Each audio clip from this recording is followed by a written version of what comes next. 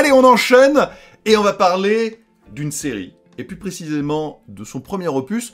Il s'agit de Dying Light. Vous le savez, Dying Light 2 arrivera en février, le mois de tous les dangers hein, dans le gaming, un titre qui est extrêmement extrêmement attendu, mais en attendant, eh bien, il débarque sur Nintendo Switch. Alors certes avec un petit peu de retard, et en plus, il y a un petit souci sur la version numérique, pas la version physique.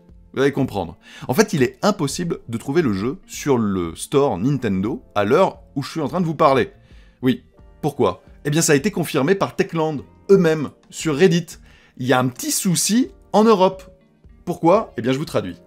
Si vous parlez de la version numérique, en raison de la nature du contenu, cette version du jeu est actuellement interdite en Allemagne, où la boutique en ligne européenne est officiellement enregistrée.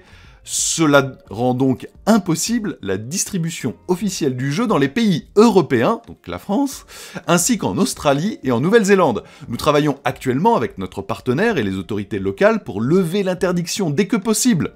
Le jeu est disponible numériquement aux États-Unis et en Asie, et la version physique est disponible dans le monde entier, sauf en Allemagne. Alors il faut le savoir, si vous êtes des vieux de la vieille du jeu vidéo, euh, c'est quelque chose euh, dont vous avez connaissance, hein, mais l'Allemagne est assez euh, tatillonne hein, au niveau du jeu vidéo, etc. Souvent le sang rouge devient vert, il y a des personnages qui sont même complètement changés. Et bah là, comme c'est en Allemagne que légalement est hébergée la boutique en ligne de Nintendo, bah il n'y a pas la version numérique. Voilà. Donc si vous le chopez en physique, pas de problème. En numérique, c'est un peu plus un casse-tête faut changer de store, etc.